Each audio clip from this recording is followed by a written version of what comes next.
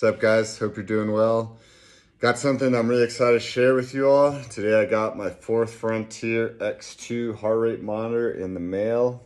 Really excited about this. So I wanted to give you guys a little bit insight as to why this heart monitor is gonna be so important to me uh, by giving you a little history of my heart health.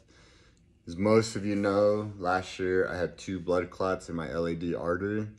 So I was technically having a heart attack for a little bit of time. Um, thankfully, I had a really good team of cardiologists, doctors who took care of me, took care of the clots, and the damage to my heart was minimal. But I feel like it's important to take my health into my own hands, which is where this comes in.